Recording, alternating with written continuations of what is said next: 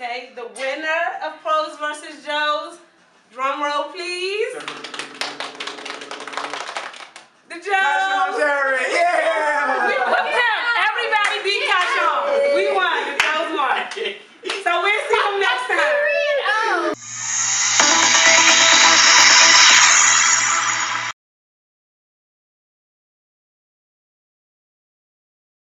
On the bus ride back from Roanoke, I listened to the uh, Nothing Was the Same album for Drake. It just keeps me in like a mellow mood. And then once I get in the locker room, I start listening to Meek Mill.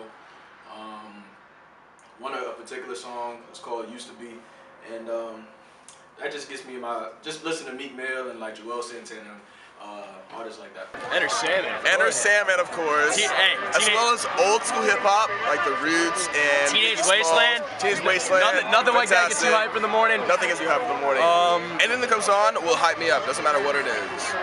Anything that I'm doing, Any, it works. anything that relates to that stadium right there just is Exactly. it's legendary. It's This is- legendary. This is Hokie football. Yeah. It's, it's unbelievable. That's how we do. Uh, you know, like Rihanna. Jump. Anything ratchet. Anything ratchet.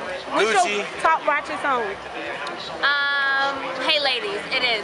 Okay. It makes me AOD, it does. All right, wait, sing that for me real quick. I don't know. Okay, now ladies, know you bad. How do you need 20 bucks if you say Miley Cyrus? This is band music. Rap music, pretty much.